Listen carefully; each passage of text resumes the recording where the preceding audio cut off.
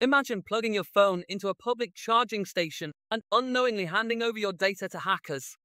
Juicejacking is a type of cyber attack where malicious actors exploit public USB charging stations to compromise devices. Cybercriminals target these stations to turn convenience into chaos.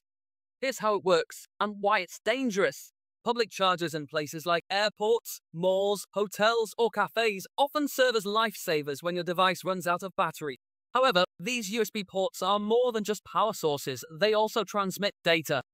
Cybercriminals can modify these charging stations or USB cables to install malicious software or steal data from connected devices.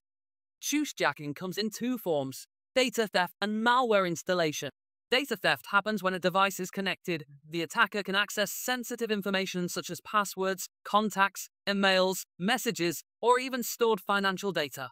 For malware installation, the attacker uses the connection to inject malware or ransomware into the device.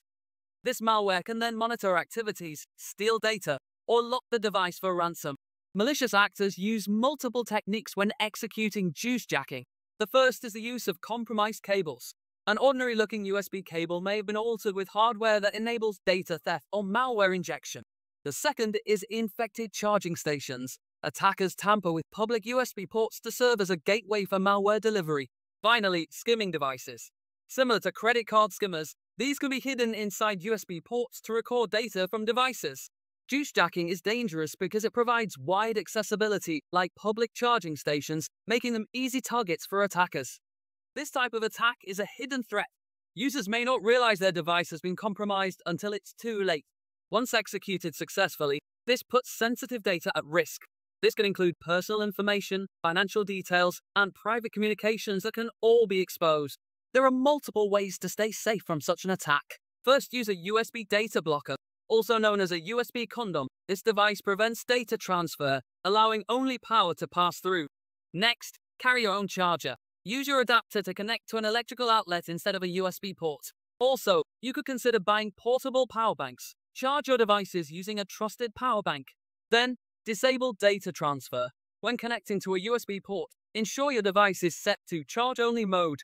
And finally, be cautious with cables. Avoid using public or unfamiliar cables. Juice jacking shows how convenience can quickly turn into a security risk. Staying aware of this threat and taking simple precautions can protect your devices and data from malicious actors. I hope you found this video helpful. And don't forget tools like a VPN and a password manager are your best friends for staying safe online. Stay vigilant, protect your devices, and share this video to help others stay secure. See you in the next video.